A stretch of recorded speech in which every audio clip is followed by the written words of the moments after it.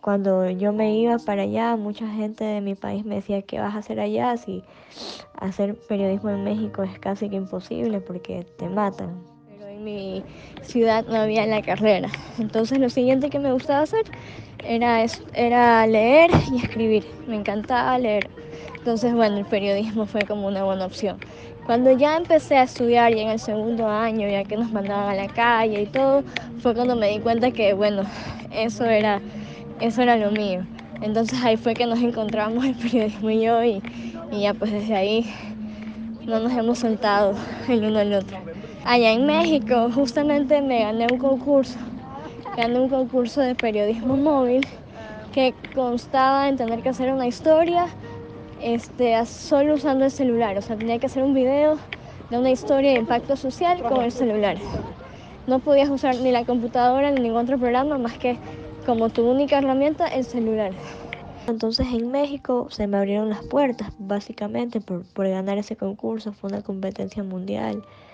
Concursé con, eh, con personas como de 19 países diferentes. Entre los finalistas estuvimos Irak, Alemania, Egipto, India, creo. Este, me llevaron a Irlanda por 10 días. Estuve eh, rodeada de periodistas que practican el periodismo móvil. Este es una es un tipo de periodismo que en Europa se está dando mucho, de que en las redacciones cada periodista produce sus historias desde su celular. Incluso la BBC estuvo ahí eh, hablando sobre cómo están implementando esto en, su, en sus redacciones. Entonces ya estando allá me hablaron de este curso que había en Londres, que era el periodismo multimedia, no solo, o sea, que te hacen, yo qué sé, usar las redes sociales, todo, todo lo que te ofrece la tecnología a tu favor para poder contar mejor historias. Y sobre todo que el storytelling esté lo más actualizado posible a estas herramientas tecnológicas y a las redes sociales y apps y todo lo que pueda hacer como que el contenido más llamativo.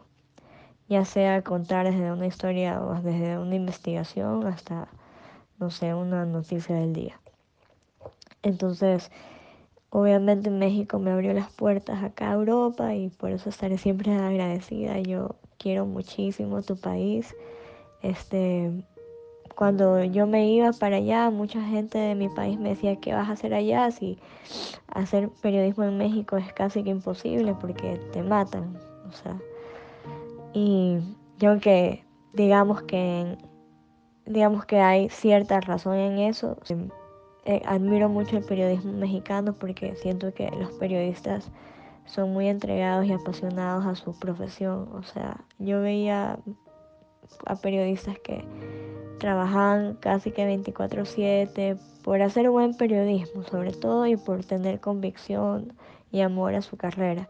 Y a pesar de que, digamos, que no tienen las circunstancias más adecuadas más seguras para ejercer la profesión. Igual yo nunca había visto tanto periodismo en mi vida, tan buen periodismo.